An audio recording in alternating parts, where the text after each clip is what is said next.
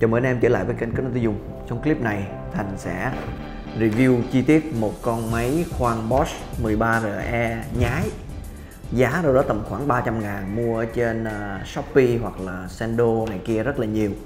Và con máy này thì đã được sử dụng trong khoảng đâu đó khoảng 6 tháng. Sử dụng không có nhiều nha anh em chỉ là gia đình thôi chỉ khoan tường một vài lần thôi. Nhưng mà nó đã rất là tả và chi tiết nó tả như thế nào thì à, chúng ta hãy đi xem nhé.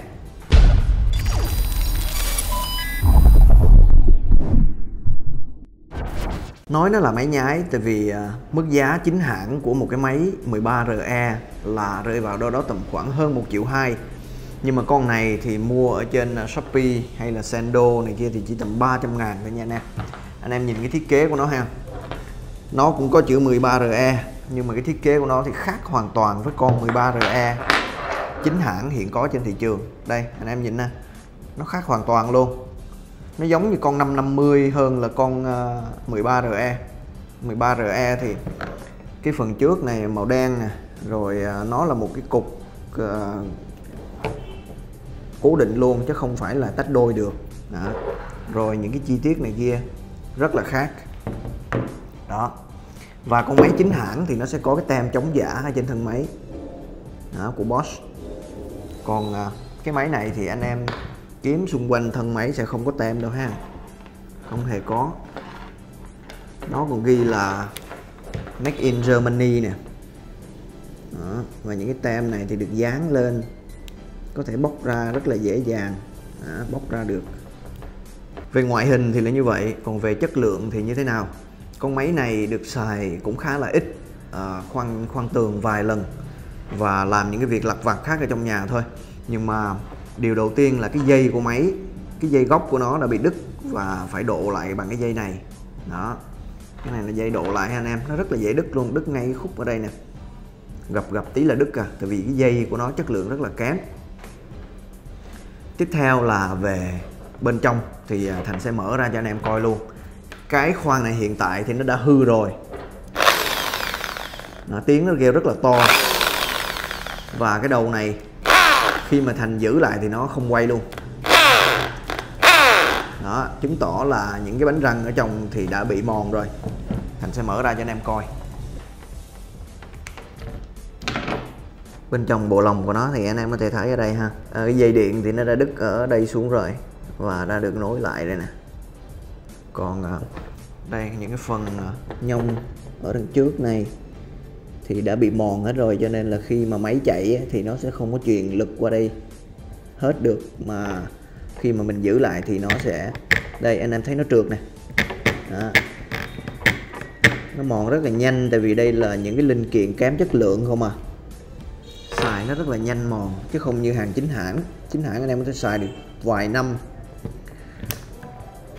nếu như anh em kỹ cẩn thận thì xài được rất là lâu, nhiều năm. Còn à, những cái hàng này thì anh em xài một thời gian thì nó nó bị mòn hết trơn.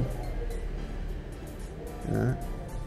những cái đầu băng ranh này bị rỉ rất là dễ dàng nè, rất là nhanh rỉ nè. Tại vì cái công nghệ của người ta làm rất là kém.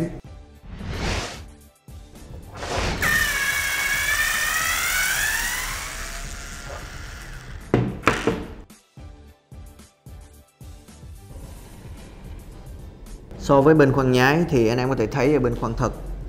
Thiết kế ở bên trong thì ờ, đồ lòng rất là xịn sò.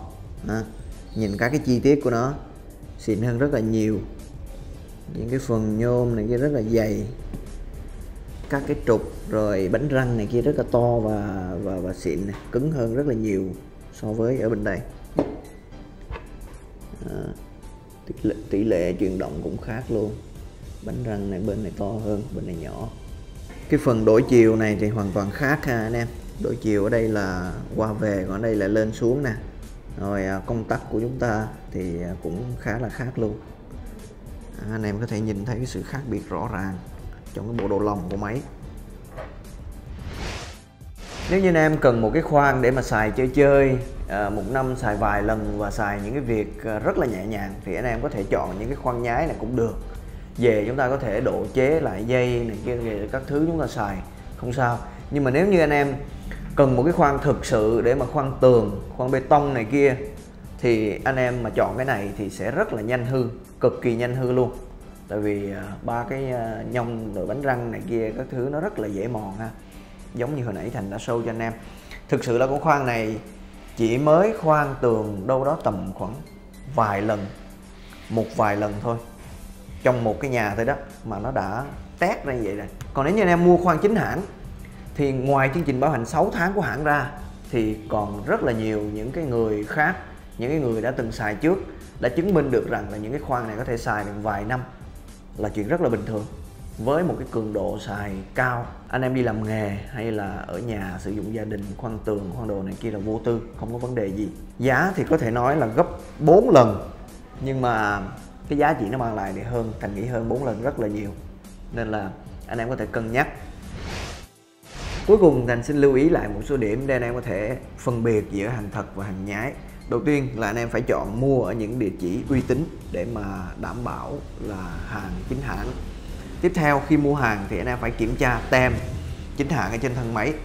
Và anh em phải tìm hiểu thông tin kỹ càng về cái sản phẩm mà mình cần mua. Anh em xem review này kia các thứ trước khi mà anh em mua sau đó mua tới tận tay thì anh em kiểm tra tem nè. Đó, rồi kiểm tra phiếu bảo hành này kia các thứ. Riêng bot thì kích hoạt bảo hành online, anh em có thể tự kích hoạt bảo hành luôn. Cho nên là anh em có thể chắc chắn được rằng là cái hàng của mình là hàng nhái hay hàng chính hãng thông qua cái khâu kích hoạt bảo hành đó. Mua hàng kết nối tiêu dùng thì 100% là hàng chính hãng, cho nên anh em có thể yên tâm. Nếu là hàng giả, hàng nhái thì sẽ đền cho anh em 1 tỷ.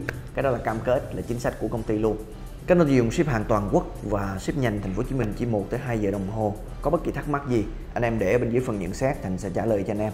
Cảm ơn anh em đã xem hết clip này và đừng quên cho một like cũng như là bấm vào nút đăng ký nếu anh em chưa đăng ký để không bỏ lỡ bất kỳ clip nào của kênh nội tiêu dùng.